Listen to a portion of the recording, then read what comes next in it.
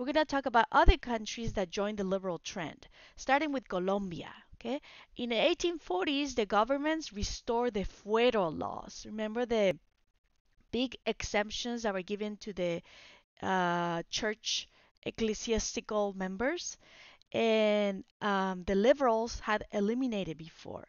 So these are the conservatives, right? They inv- even invited the Jesuits to come back, uh, who were expelled from the Spanish America in the 1700s.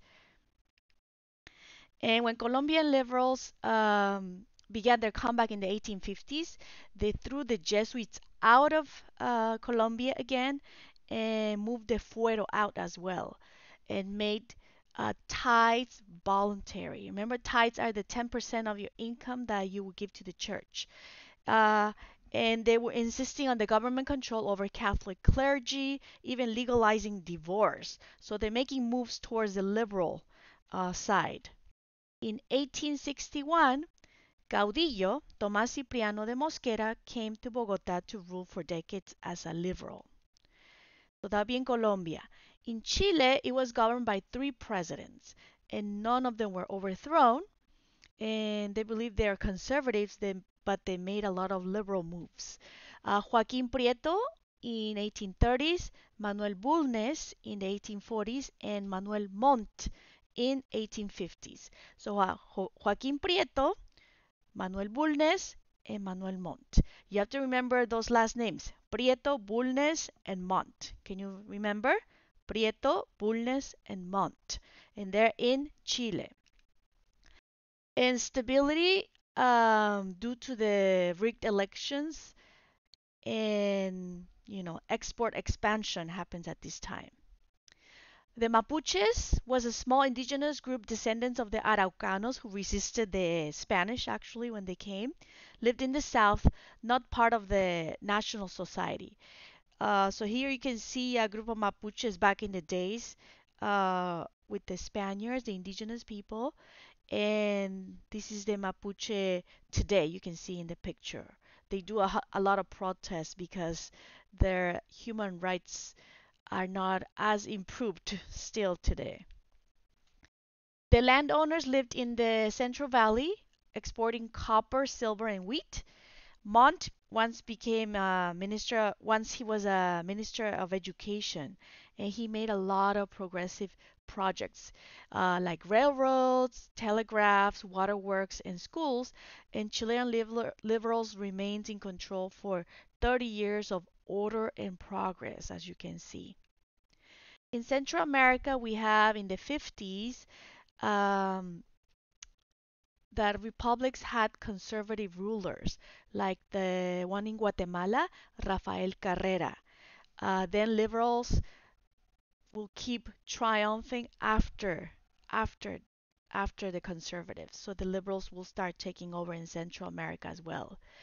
In El Salvador, led the way in the 1850s uh, with the liberals, and then uh, Costa Rica, Guatemala, and Honduras followed with the liberal rulers.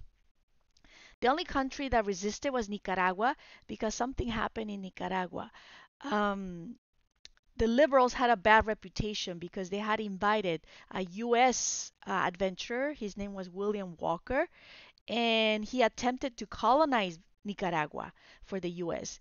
For a brief time, he became the president of Nicaragua and he proclaimed freedom of worship, adoption of English as a language, and he granted lands to U.S. immigrants and legalized even slavery, which is insane and he was captured and executed in the 1860 uh, by a joint Central American army.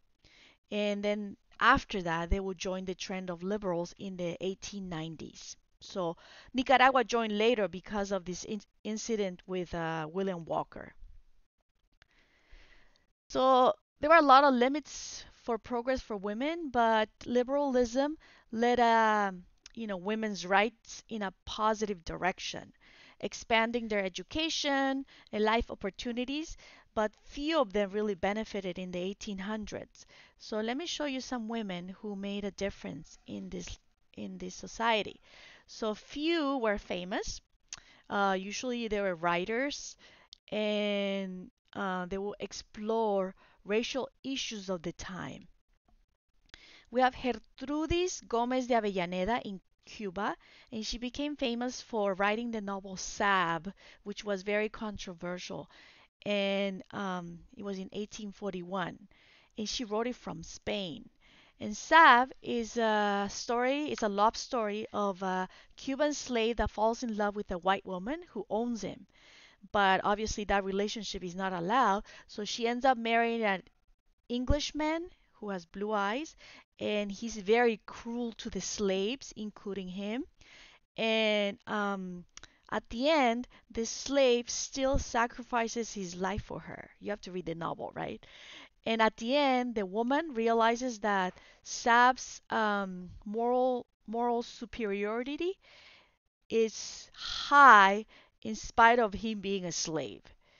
So the novel is actually calling for the abolition of slavery. You know how they should look at slaves as human beings who are superior in their moral qualities.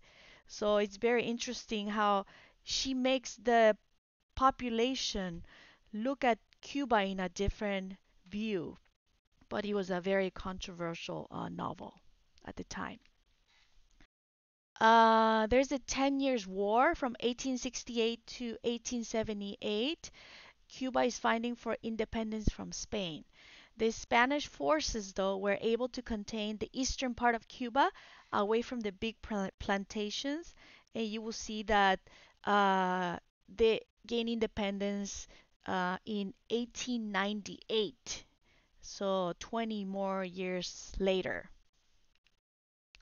During the war, a Cuban revolutionary newspaper in New York reprinted Sab, the story, for uh, the patriot readers, right? The Cubans. It made the readers explore the meaning of their society's uh, racial divisions.